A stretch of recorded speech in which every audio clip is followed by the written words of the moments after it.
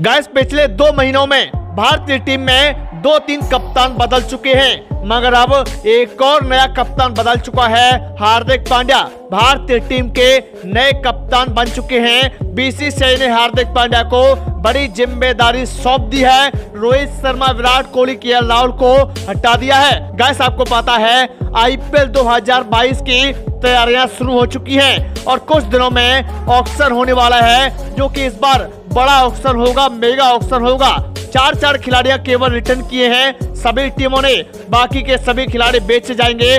मगर दोस्तों, सवाल तो ये है, भारतीय टीम के नए कप्तान हार्दिक पांड्या क्यों बने हैं? चलिए पहले आपको बता देते हैं आईपीएल के कप्तानों के बारे में थोड़ा सा दोस्तों, आपको पता है, दो नई टीमें आईपीएल 2022 में आपको नज़र आएँगी। पहले आठ टीमें थी और अब दस टीमें हो जाएँगी। के राहुल लखनऊ टीम के कप्तान बन चुके हैं। मगर दोस्तों, अहमदाबाद टीम के कप्तान पहले श्रेयस अय्यर को माना जा रहा था। मगर दोस्तों, खबरें साफ़ हो चुकी हैं और हार्दिक पांड्या को नया कप्तान बना दिया गया है। अहमदाबाद टीम ने बड़ी ज़िम्मेदारी सौंपी हार्दिक पांड्या को। मगर दोस्तों, कुछ सोशल मीडिया के चैनलों के द्वारा बताया जा रहा है कि हार्दिक पांड्या भारतीय टीम के नए कप्तान बने हैं। दोस्तों, ऐसा बिल्कुल भी नहीं है। हार्दिक पांड्या अहमदाबाद टीम के नए कप्तान बने हैं, न की भारतीय टीम के।